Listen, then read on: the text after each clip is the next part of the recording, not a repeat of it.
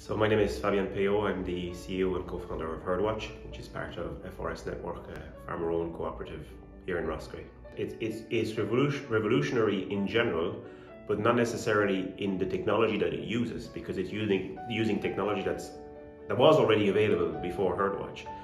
But it's how we use the technology. I think that's revolutionary, in that we took the stance, as you rightly said. A lot of people told me and us in general in the team that look, this will never happen. Farmers will never do this. And my stance from the start, and I, I can be quoted, I'm sure, um, was that farmers ultimately are business people, just like anybody else.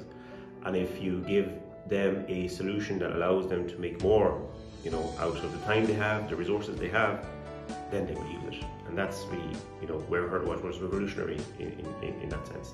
It's a journey. So it, it isn't, I wouldn't call it convincing as in, you know, you know, it's not that they're against you know, using Herdwatch any technology. They're actually, and that's another thing that I, I think is quite amazing about uh, agriculture in general is if you think of farmers, they're the quintessential innovators.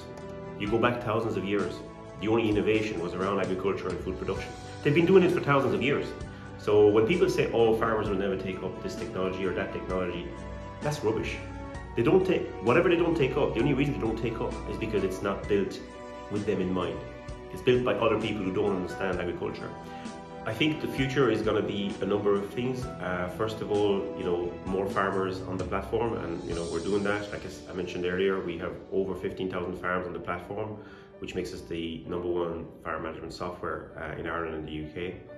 Uh, we're going to go beyond those two markets, so that's one of those things that's going to happen over the next couple of years. Um, and then the actual pro product itself, the platform, will expand to do things that it doesn't do today. I mean, you know, carbon, the carbon challenge, whatever you want to call it, the climate challenge, which is essentially about carbon, is a big uh, topic of discussion at the moment. We've all heard about it, uh, and we're going to be active in that space. How can we help? And it's all about how can we help farmers, you know, uh, navigate their way around these new challenges. It's just never ending. And I'm sure by the time this one is, you know, tackled, there'll be another one.